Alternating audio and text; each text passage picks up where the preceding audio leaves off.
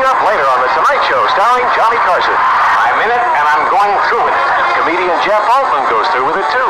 I think it was the kind of guys, he got older, uh, his pants would kind of start going up and up and up.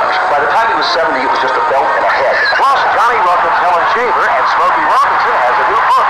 If I was going to do it, I wanted to tell the real deal. And a new classic. Right at 10.30, following the news on Channel 4.